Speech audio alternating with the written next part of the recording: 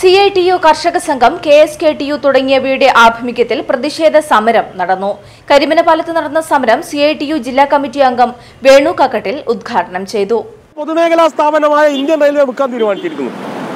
അതിനെ കഷ്ടം കഷ്ടമായി വിൽക്കാനുള്ള പ്രവർത്തനങ്ങൾ ത്വരിതഗതിയിൽ നടപ്പായിക്കൊണ്ടിരിക്കുക. തേജസ് എന്ന് പറയുന്ന ഇന്ത്യയിൽ ഏറ്റവും ലാഭമുള്ള നൂറ്റി അൻപത്തൊമ്പതോളം റെയിൽവേ സ്വകാര്യവൽക്കരിച്ച് തേജസ് എന്ന് പറയുന്ന വണ്ടി ഓടിക്കാൻ പോവുകയാണ്. വടകര ഈ ലൈനിലൂടെയും തേജസ് വണ്ടികൾ ഓടാൻ പോവുകയാണ് ഏറ്റവും ലാഭകരമായി പ്രവർത്തിക്കുന്ന റെയിൽവേയെ കഷ്ടം കഷ്ടമായി മുറിച്ചുകൊണ്ട് സ്വകാര്യ കുത്തുകൾക്ക് ലാഭമുണ്ടാക്കാനുള്ള അവസരം ആ മേഖലയിൽ ഉണ്ടായിക്കൊണ്ടിരിക്കുക. ബി എസ് എൻ എൽ നോക്കുക നിങ്ങൾ. ലോകത്തിന് തന്നെ ഏറ്റവും വലിയ മാതൃകയായ ഒരു പൊതുമേഖലാ സ്ഥാപനമാണ് ഇന്ത്യയിലെ ബി എസ് എൻ എൽ എന്ന് പറയുന്നത്.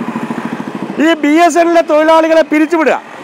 വി ആർ എസ് നൽകിക്കൊണ്ട് പിരിച്ചുവിട്ട് അംബാനി മുതലാളിയുടെ ജിയോ കമ്പനിക്ക് വേണ്ടി ഈ രാജ്യത്തെ കോടിക്കണക്കായ ആസ്തികൾ പൊതുജനങ്ങളെ പൊതുജനങ്ങളിൽ നിന്നും നികുതി സമാഹരിച്ചുകൊണ്ടുണ്ടാക്കിയ ഈ ബി എസ് എൻ എല്ലിന്റെ ടവറുകൾ മുഴുവൻ തന്നെ ആയിരക്കണക്കിന് കിലോമീറ്റർ ദൈർഘ്യമുള്ള ഒപ്റ്റിക്കൽ ഫൈബർ ശൃംഖലയെ പരിപൂർണമായും ടവറുകളെ പരിപൂർണമായും ജിയോ കമ്പനിക്ക് വേണ്ടി വിറ്റു തുലച്ചുകൊണ്ടിരിക്കുക ഞാൻ സൂചിപ്പിച്ചൊരു വിഷയം.